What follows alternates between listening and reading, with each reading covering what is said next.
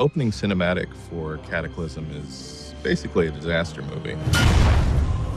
Every shot had some sort of destruction or some sort of force or some sort of earthquake or wave or something going on. Having all these sets that we got to pull apart, I thought, well, that's just going to be easy. Um, and I was wrong.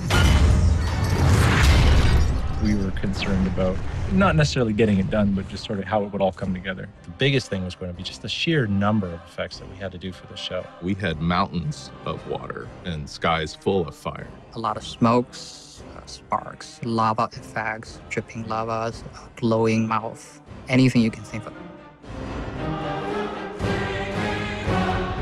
One of our bigger jobs was just deciding what lands we were going to break. The wonderful thing about working on something like World of Warcraft is you have a very established set of environments. Every environment piece that we saw in the foreground and a bunch in the background had to be destroyed. So it was a kind of an environment-driven production rather than a character-driven production. It's a lot different than animating characters, but it doesn't mean that you can't put a lot of character into it. We went through a lot of iteration to capture the essence of those places, but uh, also ground them in this sort of heightened reality.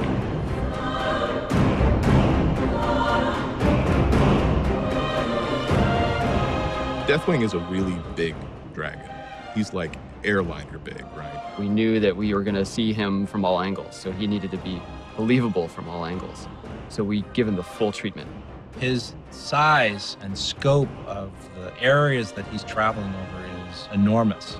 I was very afraid on, on a more macro level that we would build a fire or build smoke or embers or what have you, and that we would not be able to convey how big he really is.